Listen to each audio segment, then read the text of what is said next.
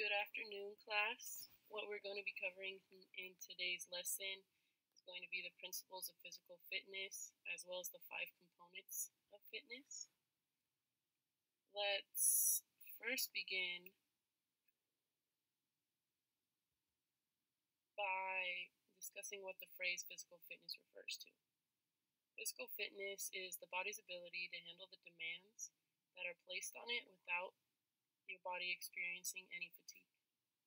Which basically, what this means is that your body is able to perform its normal daily functions and exercises without feeling too tired before they're completed. In order to get your body into shape to handle the daily demands that are placed on it, you should participate in daily exercises and maintain a balanced nutritional lifestyle. Now let's discuss what the FIT principle is.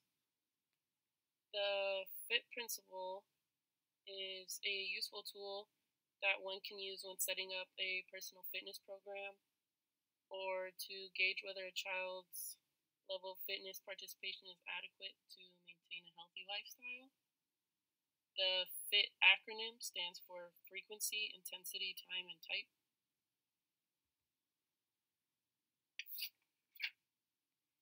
Um, let's now expand on the frequency portion of the FIT principle. Um, frequency refers to how many times a person participates in physical activity per week. For students of your age, the Center for Disease Control recommends that you participate in some type of physical activity seven days out of the week. Intensity the word used to describe how hard you are working out during your exercise. And um, you best measure the intensity of your exercise through um, taking your heart rate while you're exercising.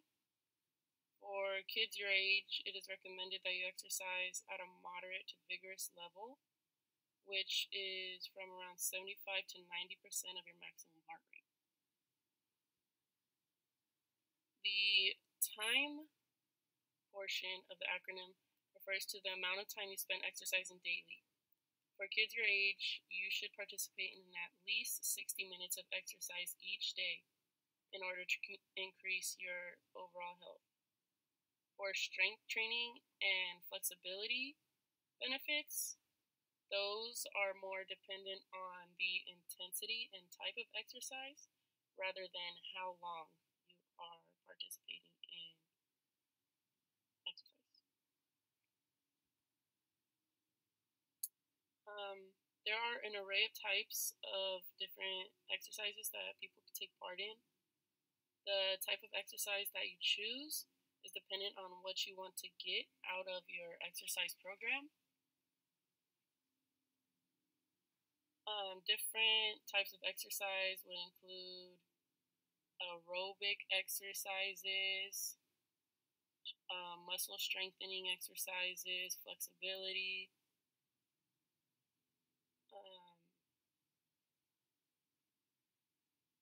And just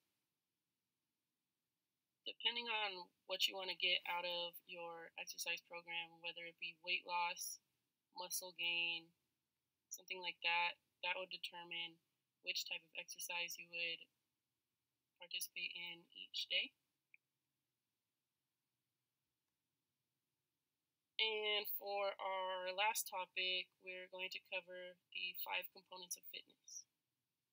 The five components of fitness include cardiovascular endurance, muscular strength, muscular endurance, flexibility, and body composition. Cardiovascular endurance is the ability of your heart and lungs to provide oxygen to the body while you're working out. Muscular strength is the amount of force a muscle can produce.